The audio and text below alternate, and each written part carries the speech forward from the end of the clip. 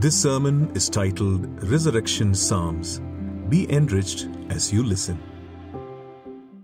All right, we're going to read quite a few portions of scripture this morning before we get into the message. So let's turn first in our Bibles to the 24th chapter of Luke. I know we read from the early part of that uh, chapter just before we started our time of worship today. So we'll go to Luke 24 and look at, uh, I think, verse 13 onwards. Luke chapter 24, we're going to read verses 13 to 27 first. Luke chapter 24, verses 13 to 24. I request you to follow along with me, please. Now, behold, two of them were traveling that same day to a village called Emmaus, which was seven miles from Jerusalem. And they talked together of all these things which had happened. So it was while they conversed and reasoned that Jesus himself drew near and went with them. But their eyes were restrained so that they did not know him. And he said to them, What kind of conversation is this that you have with one another as you walk and are sad? Then the one whose name was Cleopas answered and said to him, Are you the only stranger in Jerusalem? And, uh, and, have, and have you not known the things which happened there in these days? And he said to them, What things? So they said to him, The things concerning Jesus of Nazareth, who was a prophet mighty in deed and word before God and all the people and how the chief priests and our rulers delivered him to be condemned to death and crucified him. But we were hoping that it was he who was going to redeem Israel. Indeed, besides all this, today is the third day since these things happened. Yes, and certain women of our company who, who arrived at the tomb early astonished us when they did not find his body they came saying that they had also seen a vision of angels who said he was alive. And certain of those who were with us went to the tomb and found it just as the women had said, but they did not but him they did not see. Then he said to them, O foolish ones and slow of heart to believe, and all that the prophets have spoken. Ought not the Christ to have suffered these things and to enter into his glory? And beginning at Moses and all the prophets, he expounded to them in all to them in all the scriptures the things concerning himself. So, what I want to highlight here, of course, we are familiar with this part of, of the gospel account where Jesus is walking with these two disciples and you know he's listening to their conversation. He gets in on the conversation. And then in the process of that he like it says here in verse 27 he starts off with moses. That means the first five books. And he and going on through the prophets he explains the scriptures concerning himself that means from the Old Testament, he's explaining to them and helping them understand all that has transpired the last few days. I also want us to read, we're going to read quite a bit, so hope you're ready to do that. Acts chapter 2, just another passage. Acts chapter 2. This is Peter's sermon, the very first sermon preached post the ascension of Christ. It's the inaugural sermon for the church on the day of Pentecost. And Peter's preaching. We're going to read a few verses from his sermon, verses 29 to 32. Acts chapter 2, verses 29 to 32. And this is what Peter says in his sermon. He says, Men and brethren, let me speak freely to you of the patriarch David that he is both dead and buried, and his tomb is with us to this day. Therefore, being a prophet and knowing that God had sworn with an oath to him that of the fruit of his body, according to the flesh, he would raise up the Christ to sit on his throne, he, foreseeing this, spoke concerning the resurrection of the Christ, that his soul was not left in Hades, nor did his flesh see corruption. This Jesus God has raised up, of which we are all witnesses. So, this is the day of Pentecost. And the way God timed everything, Jesus was crucified on Passover, the day of Passover. Three days later was the day of uh, the first fruits, the beginning of the harvest. That was the day Jesus rose from the dead. 50 days later is Pentecost, the first fruits, and this is the harvest day. And on that day, the church is born. The Holy Spirit is poured out, and the church is born. And Peter stands up and he's preaching. Now, of course, you just have to imagine this in your mind what happened on that day of Pentecost. The Jews who were scattered all around the Mediterranean would make their annual pilgrimage to Jerusalem. Uh, most of them would plan to stay for an extended time, uh, for probably, you know, uh, these, uh, this 60-day period to go through uh, the Feast of the Unleavened Bread, the Passover, the first fruits, and then followed up with the day of Pentecost, or spread over 60 days. And all of a sudden, in that 60 day period, Jerusalem, the population in Jerusalem would just go up maybe fivefold. You know, so, uh, you know, you had several thousands of people in that city. Jewish people would come in from various spots around the Mediterranean. And so, G- and so Peter has this Jewish audience. He's speaking to them. He has to explain to them about what has just happened, about the resurrection of Christ. What does he do? He speaks to them about their patriarch. Now, two important patriarchs Abraham, the father, the pioneer, the founder, and then David, very important patriarch. So he says, All of you know about David. His tomb is still with us today. That means he died, he hasn't been raised. But he was a prophet. And he saw something ahead of time. God revealed to him that of his own, one of his own, would come somebody who would sit on his throne. And not only would this man sit on his throne, but this person would be raised from the dead. And so he's telling them, David prophesied or see, saw before time the resurrection of Christ. And he spoke about the resurrection of Christ. And what David spoke about is what we are witnessing to you today. Are you with me? So that's part of Peter's sermon. Now, none of the Jews are going to argue with David as a patriarch two of the most respected people in their heritage, Abraham and David. And Peter is pointing to David. What I want us to do this morning is to read three Psalms of David. Are you okay with that? Right? We're going to read more scripture. Three Psalms of David. These are short Psalms. And out of these Psalms, well, I, we just, I just call them resurrection Psalms because in these three Psalms, all written by David, David foretold the incarnation, the resurrection, and the exaltation, and all that would come thereafter that. Now remember, David lived a thousand years before Jesus Christ. So, 1,000 years before Christ, David spoke of his resurrection. So, I want us to read those three Psalms, please and then just highlight some of the things that David prophesied, which you and I, uh, which we know that Jesus fulfilled and will fulfill. There are some that are still waiting to be fulfilled.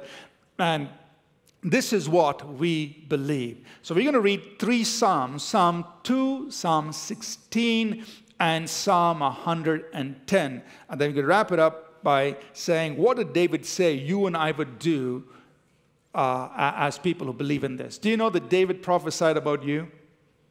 Tell your neighbor, he spoke about you. Right? You don't sound very convinced. Tell your neighbor, David prophesied about you. Okay? We're going to read about that today. All right? So before we close today, you'll find out your place in Bible prophecy as spoken by the prophet David. All right. I'll tell you the very end. Psalm 2. Let's go. I hope you're there. We'll read Psalm 2. Why do the nations rage and the people plot a vain thing? The kings of the earth set themselves, and the rulers take counsel together against the Lord and against his anointed, saying, Let us break their bonds in pieces and cast away their cords from us. He who sits in the heavens shall laugh, the Lord shall hold them in derision.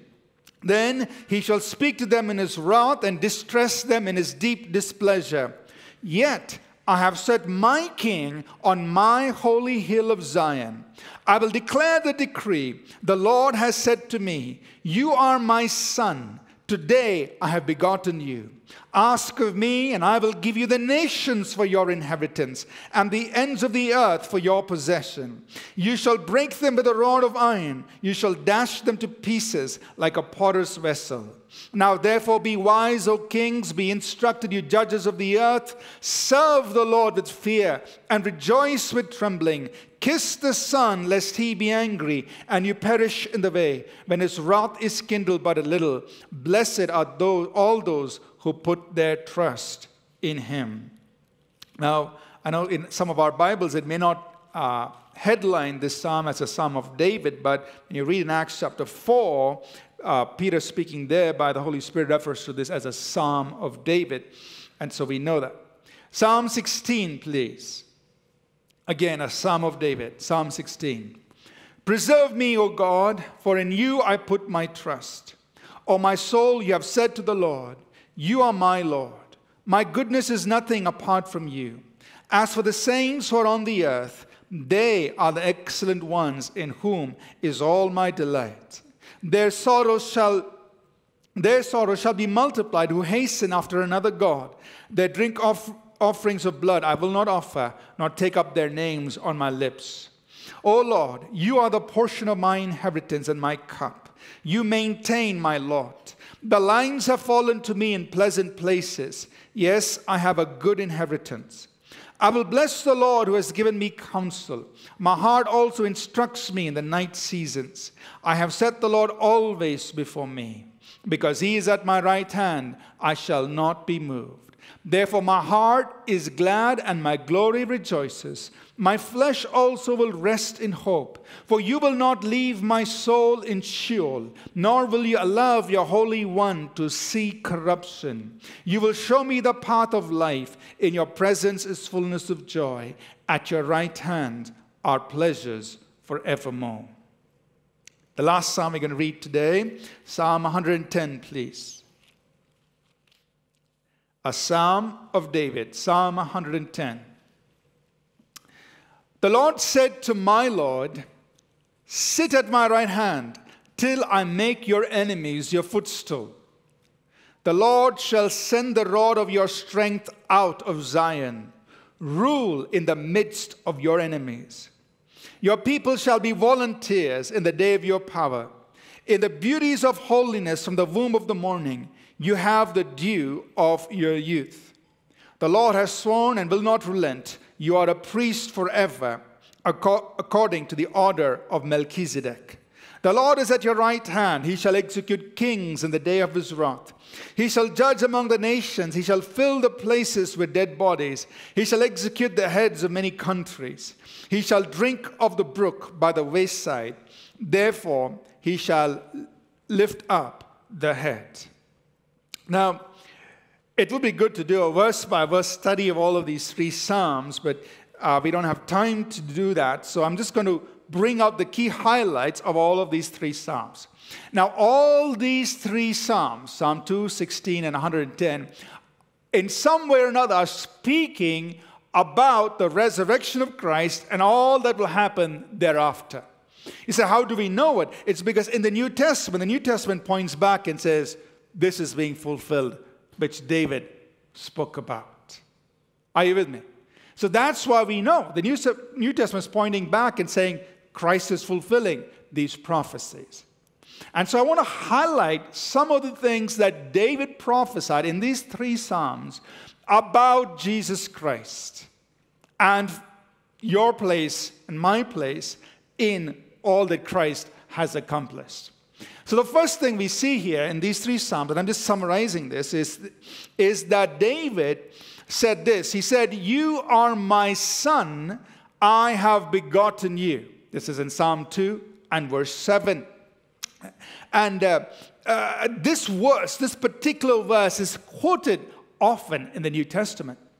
In Acts 13, when uh, the Apostle Paul is preaching on his first missionary journey, he comes to a place called Antioch of Syria uh, which is in modern day Turkey. He comes into the synagogue as they normally would do, along with Barnabas, and he's, he has his audience, Jewish audience. He's preaching to them about Jesus, and then he points back to Psalm 2 and he says, You know, David prophesied, You are my son. Today I have begotten you, and this son, whom he's talking about, is whom we are preaching to you about. So, David 1,000 years before Christ, made this glorious announcement about the incarnation of Christ. He spoke about somebody whom God would say, You are my son, and I have begotten you. There's only one who fulfill that perfectly. Psalm 16, the other psalm we read, the first eight verses, are describing life of such a person who's living in total submission to the Father. And, and, and while David walked in it, Jesus perfectly embodied it. And it is this Son that we are preaching about. The same verse, Psalm 2, verse 7, is quoted often in Hebrews, in Hebrews chapter 1, verse 5, talking about the incarnation of Jesus. And again in Hebrews 5 and verse 5, this same verse is quoted. So think about this. David didn't necessarily understand everything, but he spoke and said, There is somebody to whom God would say, You are my son. Today I have begotten you. Now, that does not mean, now, you know, when we think about birth, we think about beginning of life. So we must not understand that incorrectly. So we need to, you know, technically would say you need to get our Christology right, that is our understanding of Christ right. So it doesn't mean Christ's life began there. It means that the eternal God, the eternal Word, who was part of the Godhead, co equal with the Father and the Spirit, fully God, who could fully represent God, laid aside his powers of deity and took on humanity, chose to walk as a man, and in doing so became a fulfillment of this one who could be called the Son of God. Because he chose to walk under the unction of the Holy Spirit and in submission to the Father. And so he's called the Son of God. That does not mean he wasn't deity. He was deity who chose to become a man.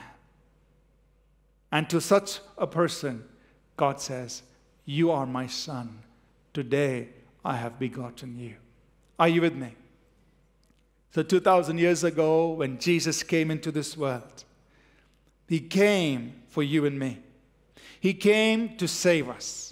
He came to die for us on the cross, to pay for our sins.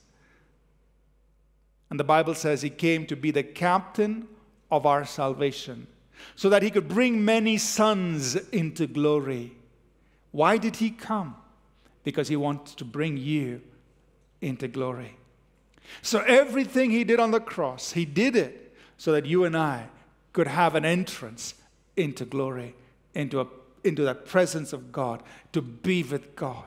And that's why he is the captain of our salvation. He's the captain of your salvation, and He's the only one who can provide salvation to you and me today. The Bible says there is no other name given under heaven among men by which we can be saved. It's only in the name of our Lord Jesus Christ. Can you say amen if you believe it? You are my son, I have begotten you. And he came also to show us how sons and daughters of God would live. He is uh, the perfect prototype. He is our model whom we follow and uh, you know, a model our life after. He is a perfect example of what a son and a daughter of God should live like. You are my son. Today I have begotten you. The second thing we see in these Psalms is this David spoke about he mentioned this in Psalm 16, verses 8 through 11. David said, He will not see corruption. And like we mentioned it earlier, Peter in his inaugural sermon points back and says, You know, David said, he spoke about somebody who will not see corruption. And we know for sure he wasn't speaking of himself because his tomb is here. And David did not rise up from the dead. So, who was David talking about? And you can imagine the Jewish audience saying, Peter, please tell us. Who was he talking about? Because he couldn't be talking about himself, because we know his tomb is here. But David spoke of somebody who said, who, of whom he said, You will not leave my soul in hell, neither will you allow me to see corruption, but you will bring me into your presence where there is fullness of joy. Who is he talking about? And, Dave, and Peter says, We're talking about Jesus. This, who's, this is whom David spoke about.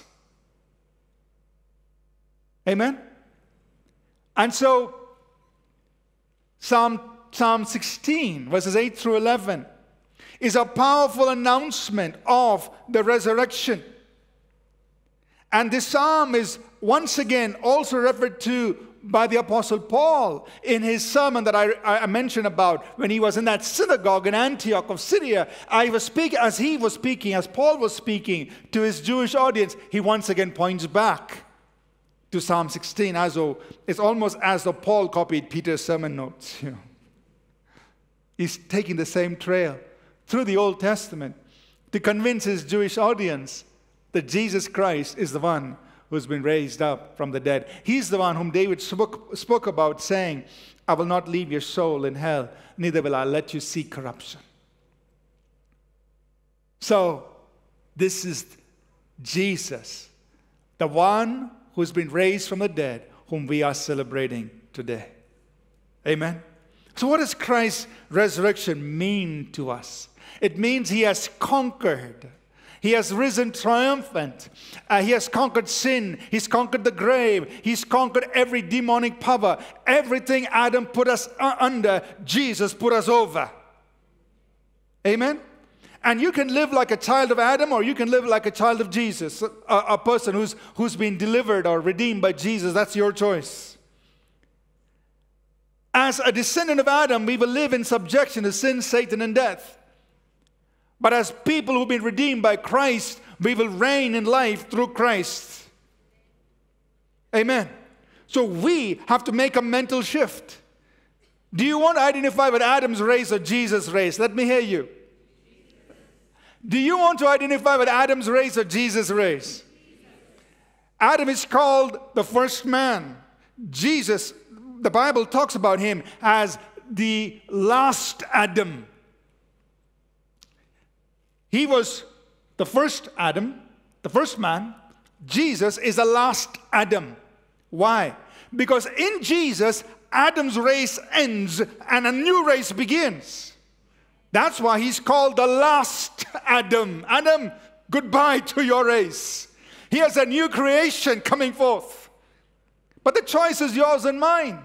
Do you want, you know, God has given us new creation life in Christ, and He's saying, don't live by Adam's race, live by what I've done for you in Christ.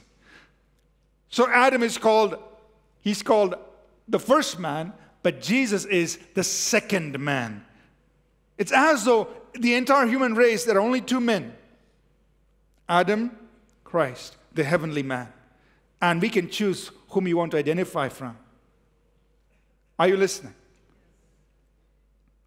So when we celebrate Christ's resurrection, we are saying we identify with this one who conquered sin, Satan, and death. We're not identifying with Adam, he put us under. We are identifying with Jesus who brought us over. And therefore, we want to live as overcomers in this world. We refuse to live as victims to sin and Satan because Christ came to conquer Satan. Why did he have to become human so he could represent you and me and as our representative meet with Satan and saying, whatever I'm doing, I'm doing it for them. Jesus never did, needed to do this for himself. He was already God. But the reason he became human is to represent you and me and deal with the devil on our behalf. So you and I might say, I'm going to walk in that. I'm going to take what Jesus provided for me. Amen? So David spoke about this triumphant resurrected Jesus. He made a powerful announcement of this resurrection. Revelation 1:18, Jesus speaks of himself and he says, "I am he who lives and was dead, and behold, I'm alive forevermore. Amen." And what does that mean? He says, "I have the keys of Hades and death. I've conquered everything that oppresses the human race." The third thing we see in these Psalms, uh, when David said this in Psalm 110, now we look at Psalm 110, verse 1, uh, David said, He will be seated on the Father's right hand. Psalm 110, verse 1 The Lord said to my Lord, Sit at my right hand till I make your enemies your footstool. This is a powerful announcement of Christ's glorification that he is crowned with glory and honor at the Father's right hand. And you know, it's very interesting that the Lord Jesus quoted Psalm 110, verse 1 in Matthew chapter 22, verses 41 to 45. He was speaking to the Jews, excuse me, and uh, he said, You know, I have a question for all of you.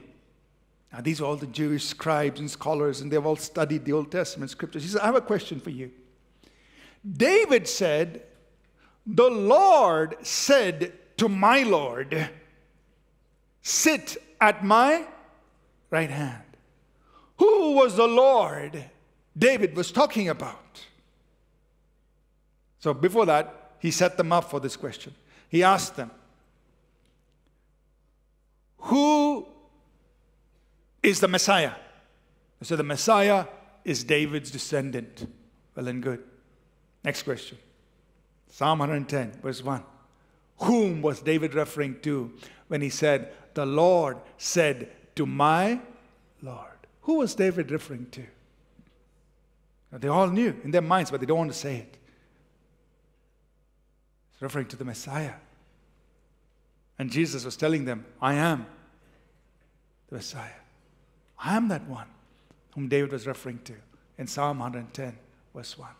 The Lord, God the Father, said to my Lord, God the Son, Sit at my right hand till I make your enemies your footstool. So David spoke about this, the glorifi- glorification of this one. And once again, Peter quotes this again in his inaugural sermon in Acts chapter 2. He, he quotes Psalm 110, verse 1. And you know, very interesting, Psalm 110 is the most quoted Old Testament passage in the New Testament. That's how important Psalm 110 is. And you are there in Psalm 110. Keep searching. We'll let you know before we close, okay? But Psalm 110 is the most quoted Old Testament passage in the New Testament. And this verse, verse 1 of Psalm 110, is quoted very often in the New Testament. Paul quotes it in 1 Corinthians chapter 15, verses 24 to 28, when he talks about the, the time when Christ will put all, eh, when God will put all enemies and subject them to Christ. And the writer of Hebrews quotes it in Hebrews chapter 10 and verse 13. So, this is a powerful announcement of the glorification of Christ. Can you imagine? David spoke and said, The Lord said to my Lord, Sit at my right hand till I make all your enemies your footstool. And that's the Christ we worship. Today, Jesus is seated at the Father's right hand. And we know he's been given a name that is above every other name. That at his name, every knee will bow, every tongue will confess. And we are worshiping somebody who tasted death for every person. But Hebrews 2 9 says, He is crowned today with glory and honor. What David spoke about has been fulfilled. The fourth one, I'll just very quickly go through and point out these things that we see here. The fourth one, this is in Psalm 110. David prophesied. He said, He is a priest forever. This is verse 4. He is a priest forever according to the order of Melchizedek. This is a powerful announcement of Christ's intercession. I mean, how could David say, You are a priest forever? according to the order of Melchizedek. Now, Melchizedek was an Old Testament person that we read about very, very briefly. He was a king of Jerusalem, but he was also the high priest of the Most High God, or the priest of the Most High God. There were no high priests at that time, so he was a king and a priest.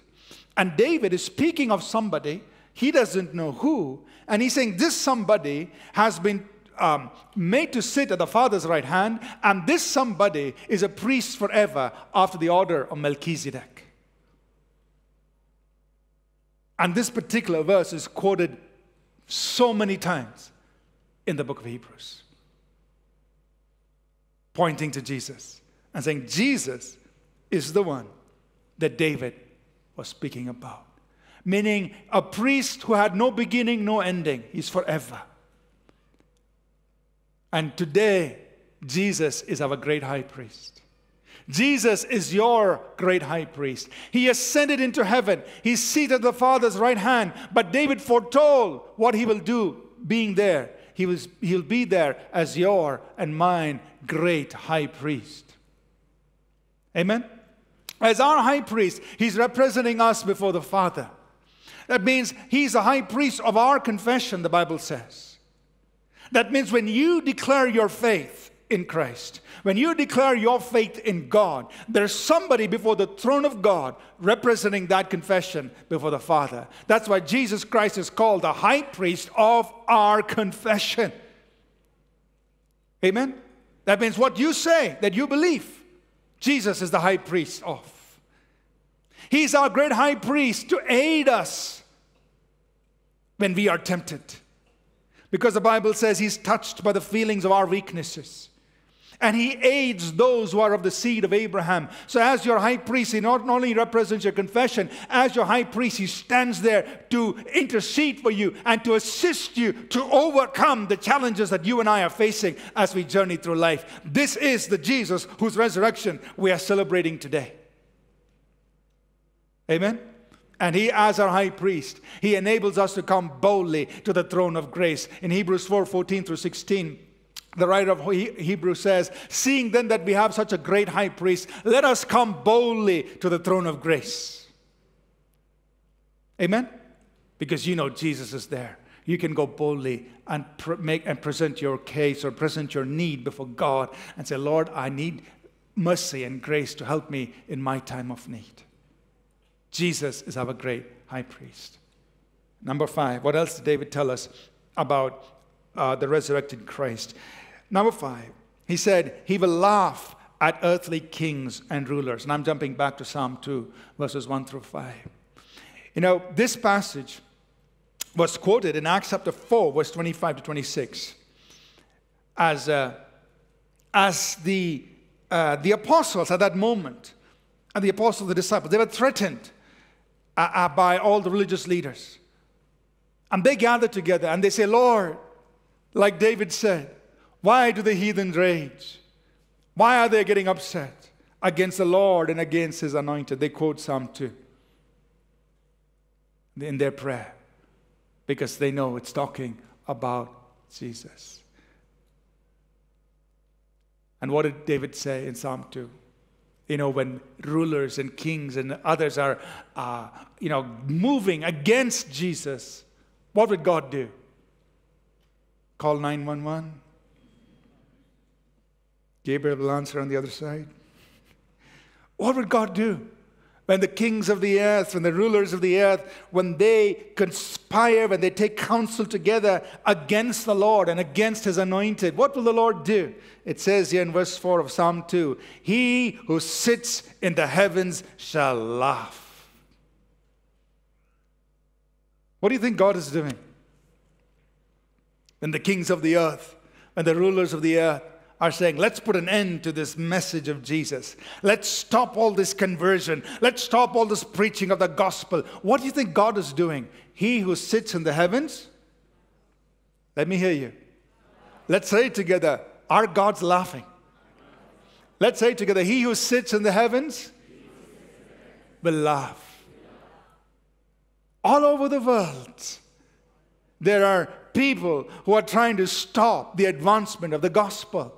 They're trying to stop the advancement of the preaching of the anointed one.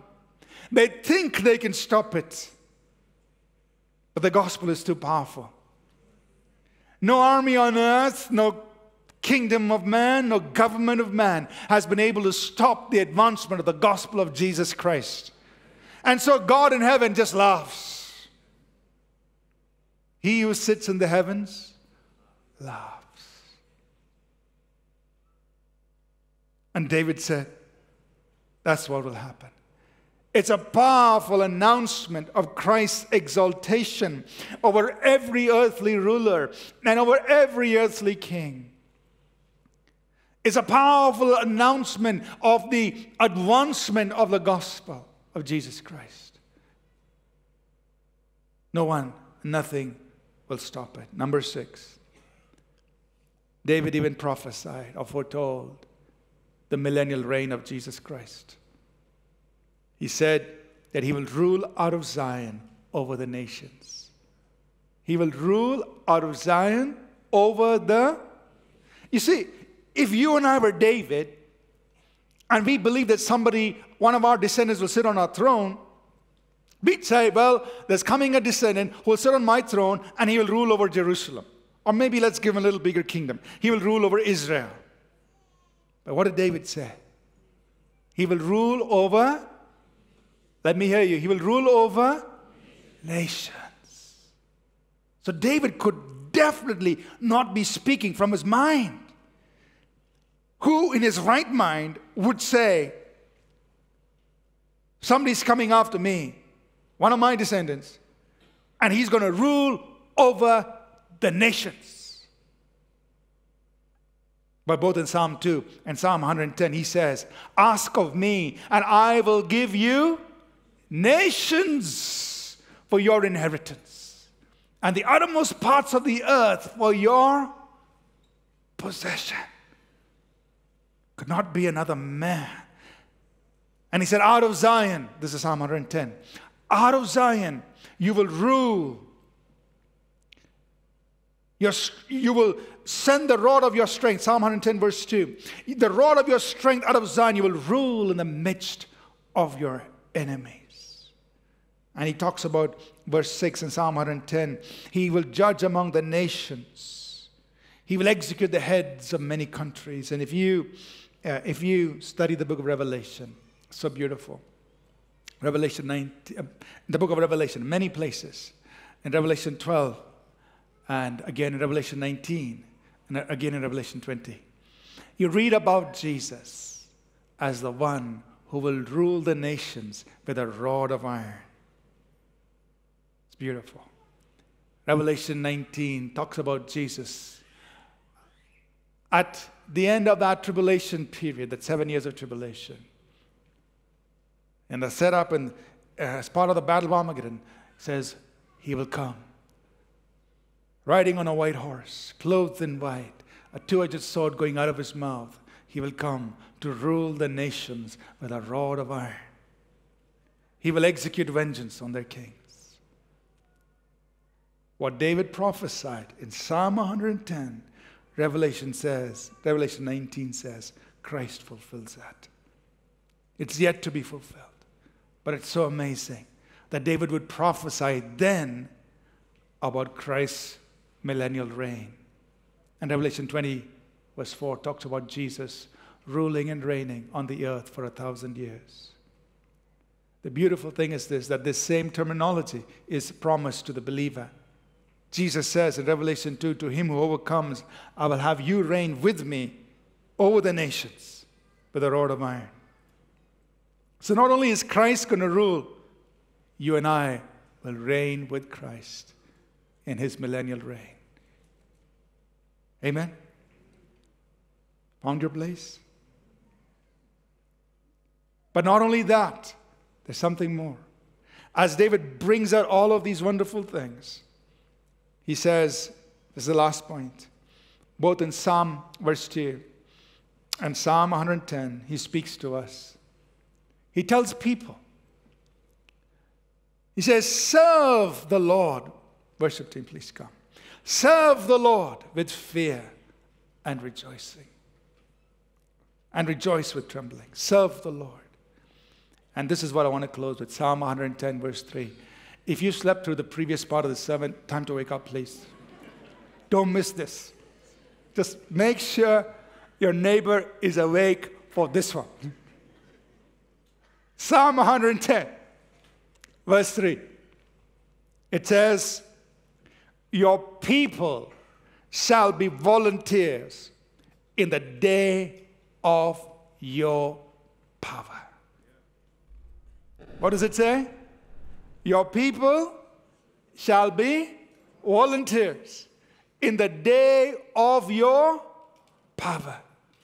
You see, the day of his power has begun because he is right now seated at the Father's right hand with all authority and power given to him. Yes, there is coming a millennial reign when Christ will come and establish his kingdom on the earth, and out of Zion he will rule the nations. But the day of his power has already begun. And he is extending his rule and reign through his people. And what, is, what did David say? He spoke about you. Psalm 110, verse 3. Your people shall be volunteers, meaning they will serve willingly. And when you say volunteers, we're not asking you to sign up for volunteer. That's not the point. Okay, now we do have a volunteer sign up after service in the main lobby. But that's not, it happened by accident. Okay? it wasn't planned. The point is, David said that God's people will be willing servants. They will serve Him willingly in the day of His power. And that's the call for you and me to be willing servants of the Lord, volunteers for the Lord in the day of His power. Today, Jesus is seated on the Father's right hand.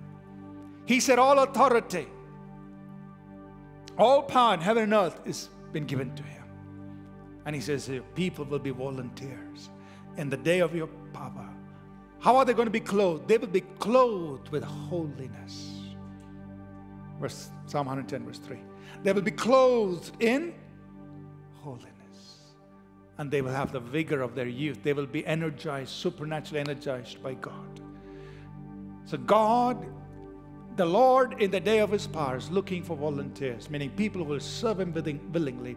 They will serve him gladly. They will be clothed in holiness, and they will be empowered with the dew of their youth. That means they will be empowered by God. So, we are celebrating Christ's triumph. It's so amazing that David spoke about the incarnation. He spoke about the resurrection. He spoke about Christ's glorification. He spoke about Christ's intercession. He spoke about Christ's exaltation over the kings and rulers of the earth. He spoke about Christ's coronation, meaning him being king, ruling on the earth And then he spoke about you and me, saying, We will be volunteers in the day of his power. We will be clothed with holiness. And we will be given the dew of the youth, dew of our youth. We will be energized by God. Are you ready to be a volunteer for the Lord? Amen. I'm not saying go and sign up. I'm saying whatever God has called you to do, whatever, you are here as an ambassador for Christ. You're representing the one who's seated on the throne. And the world needs to see Jesus in you and me. Amen. We are volunteers for such a great King. We are volunteers for the one who is seated, who laughs when people try to stop and the advancement of his kingdom. We are volunteers for such a one.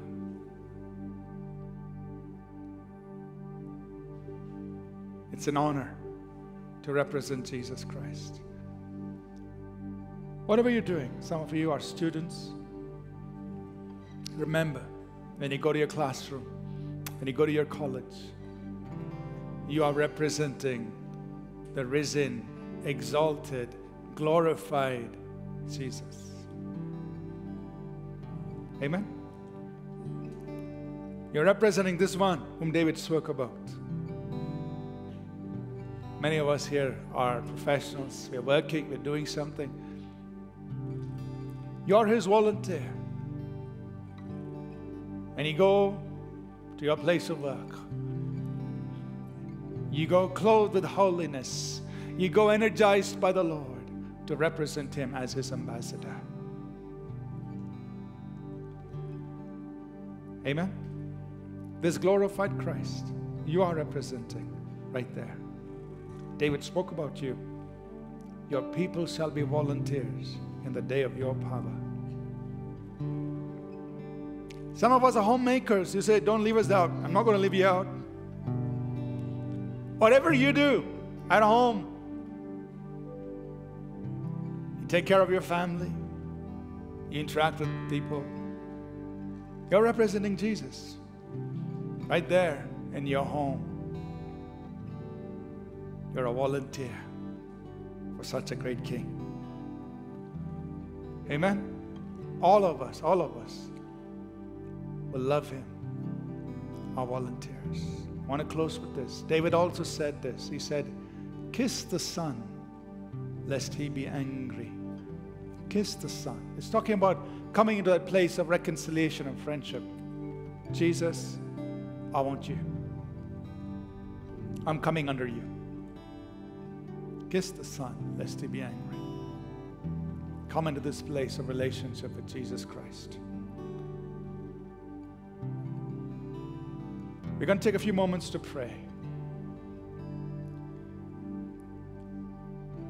If there's anyone here this morning, and maybe you just decided to go to church on Easter Sunday, and then be a friend invited you, maybe you're watching online, and you've never made a decision to believe in the Lord Jesus Christ. Doesn't matter what your background is, doesn't matter what your upbringing is, it doesn't matter where you are in life today.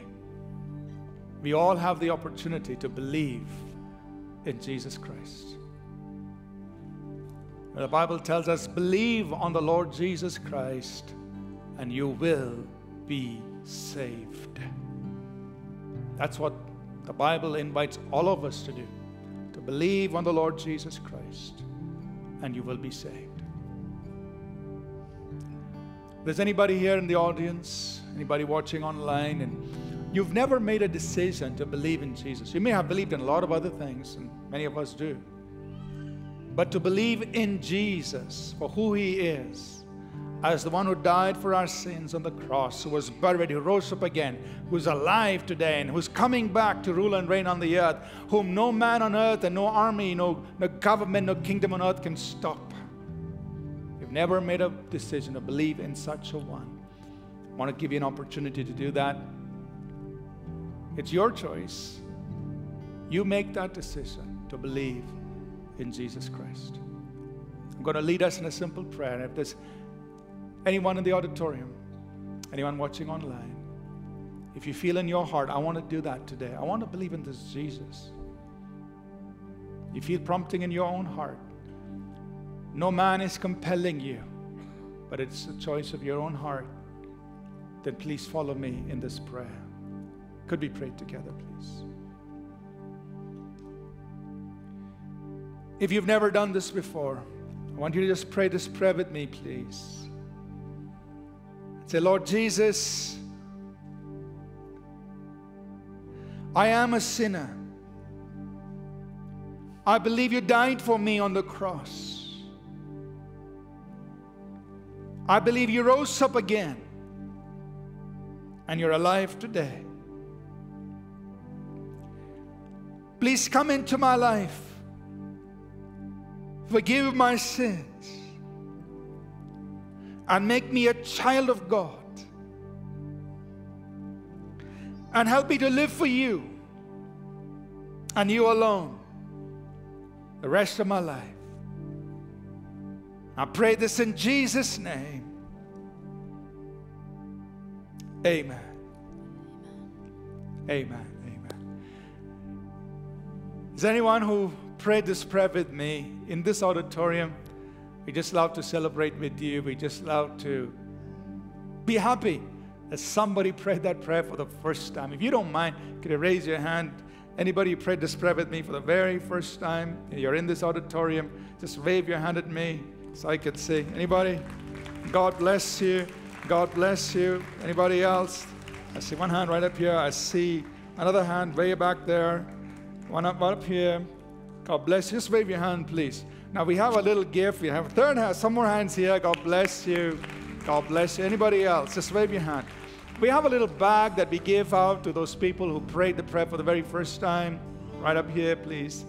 And uh, we want to celebrate with you. So please make sure you get this bag. Just raise your hand up wherever you are. It's never too late. Uh, if you prayed this prayer with me, I see another hand way up there. God bless. Oh, there's another hand right here. God bless you. God bless you, please. Thank God bless you. We don't want to miss any hand, so please, please wave it until somebody comes and uh, gives it to you. Right? Along with that bag, there's a card that says decision card. And if you could please write your name and number and give it back to one of these volunteers who came to you, just give it back to them or anyone with this badge, with a volunteer badge uh, then somebody from the church office will call you and help you, show tell you how to use these resources that are in the bag. So, just one more time before we change a little focus here.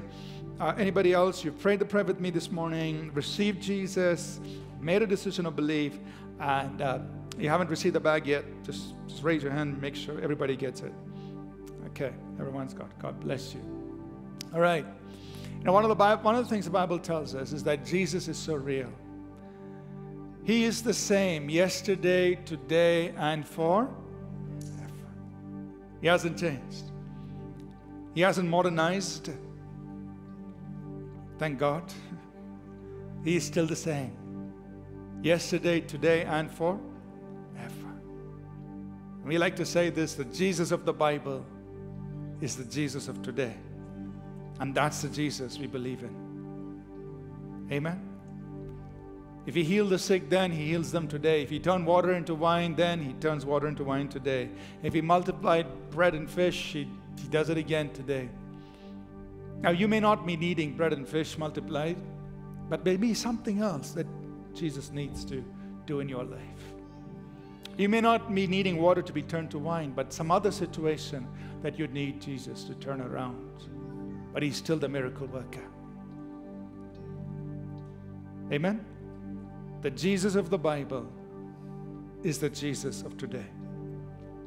Another thing we say very often is Bible faith works the same way today as it did in Bible times.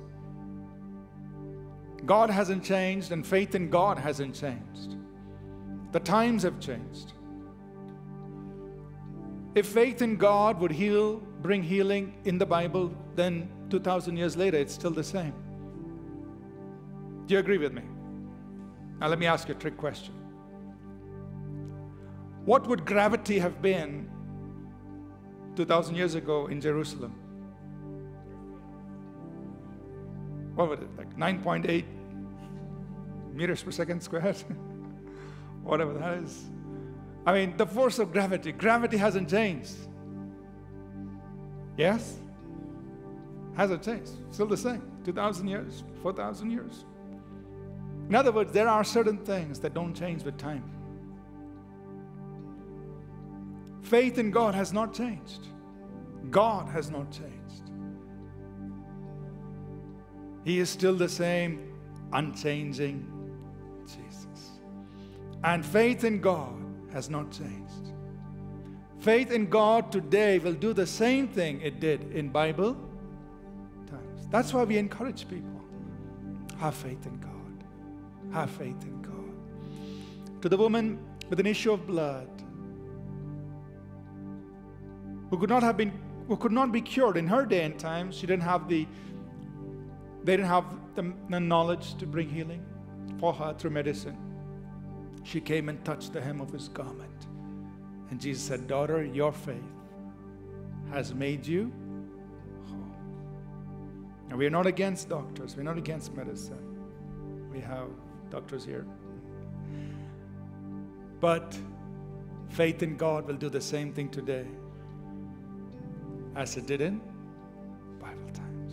Because God hasn't changed, His word hasn't changed. So this morning, because Jesus is real, we will pray and ask Him to heal, ask Him to deliver, ask Him to meet your need, ask Him to work miracles in your lives. There's nothing wrong. There's nothing wrong in doing that. Can we do that? So we're going to sing, just, just turn our attention to Jesus and declare Him as our miracle worker. And then we're going to pray. And I want you to believe God right where you are, saying, The Lord, I need a touch. That's for healing, whether it's in your family, it's your finances, whatever. Lord, I need a touch. And we're going to pray and then we'll close. Could we rise to our feet, please?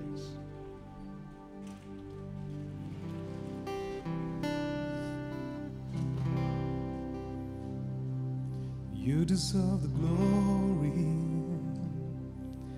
and the honor. Lord, we lift our hands in worship as we lift your holy name. You deserve the glory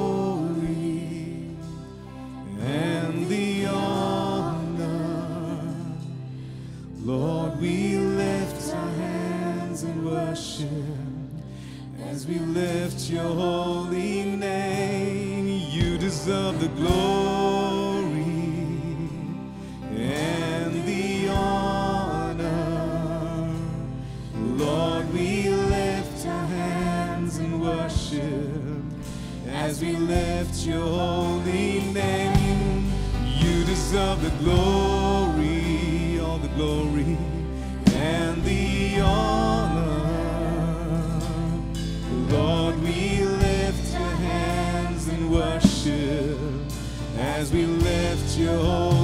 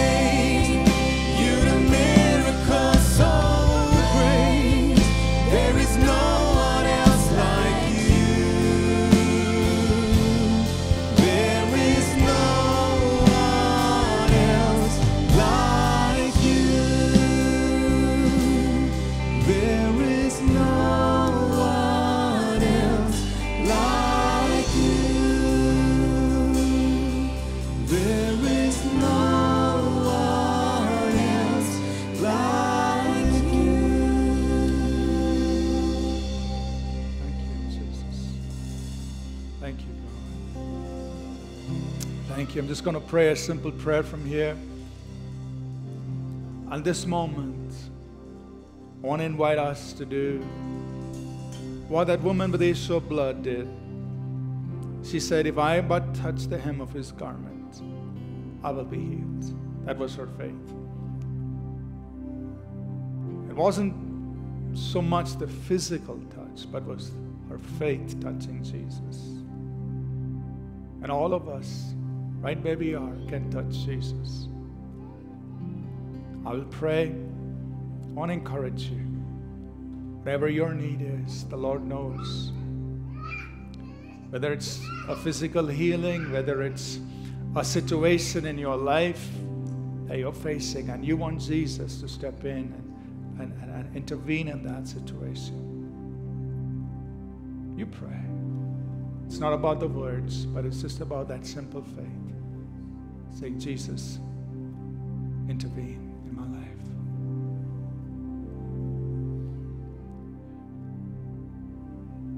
And Lord Jesus, we glorify you, we exalt you, and we know that you are the same yesterday, today, and forever. And you've given us your name, a name that is above every other name. So, in that name, in the name of Jesus, I take authority over sickness and disease, physical conditions that are affecting and afflicting God's people. In the name of Jesus, I command healing to take place in your body. In the name of Jesus, receive your healing. Be healed. Now, all you do is simple say, Lord Jesus, I receive my healing. I receive. I receive. Lord, I speak these words in faith. In Jesus' name, I destroy every work of the enemy, every affliction, every spirit of affliction, every spirit of infirmity. I command you to leave. If You've got problems in your legs. Let the healing power of God flow through your legs right now. And say, Lord, I receive my healing. I receive my healing. Father God, I just pray that every physical condition, there's so many things that people go through. But right now, in the name of Jesus, let the power of God flow. Let the power of God flow. Healing bones, healing nerves, healing ligaments and joints.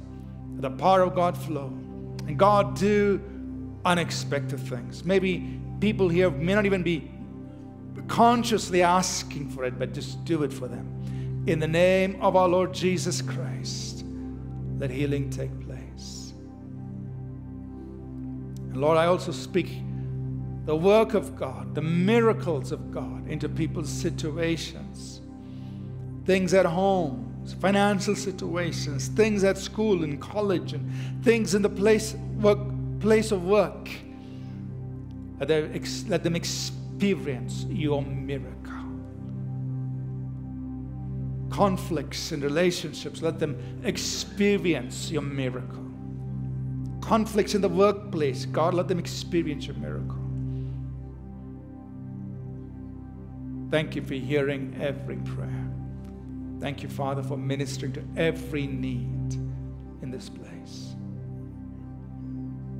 We thank you, God.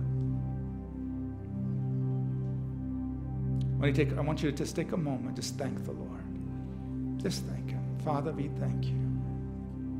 We thank you, God. Thank you. Thank you for ministering to your people. Thank you for being faithful to your word. Thank you for touching your people. Thank you for intervening in their lives. Thank you for your healing. Thank you for your deliverance, God. We thank you. Thank you. Amen. Amen. Before we dismiss, what we normally do is If you have a testimony, we just want you to please email it to us, send it to us by email. So that one is we have a record of it so we know it's real and anybody questions us, we have we, we can say it came by email. And we will share that you know testimony with people and we do that from time to time. So the Lord has done something in your life. There's a healing or anything else. Just share that testimony and we will be able to share it with the congregations at our various locations. Just a few announcements after the service. Uh, food is being served in the food court. Uh, there are games happening there. Uh, volunteers, sign up desk is in the main lobby. Uh, you can collect your food coupons again in the main lobby area from the registration desk. If you haven't registered and would like to register and have lunch, you can do that as well in the um, main lobby. For all first time visitors, you are our guests today. So if you're a first time visitor, you can you're just welcome. So you don't you don't have to register in the sense you don't have to uh, pay for it. Uh, you're just welcome to come, stay back, and have lunch with us. For all first time visitors, you can just go there outside, tell them that you're a first time visitor. For first time visitors. Okay? so I'm not saying I am a visitor, no. First time visitors, okay? And for them, please go to the lobby, just say I'm a first time visitor here, and you can please stay back. They'll give you a coupon, you just go join us for lunch today. Okay? Are you happy that you came this morning? Amen? I'm just going to announce the benediction. We'll dismiss. Please spend time to meet with people, greet each other, and get to know each other after we close. Let's close, please. The grace of our Lord Jesus Christ, the love of God, our Heavenly Father, and the sweet fellowship of His Spirit be with each of us always. In Jesus' name. Amen. Thank you for listening. We trust this message was a blessing to you. For more free resources, including sermons, sermon notes, and books, please visit apcwo.org. For information on APC Bible College in Bangalore, visit apcbiblecollege.org. Do remember to download the All People's Church Bangalore app from the Apple or Google Play Store.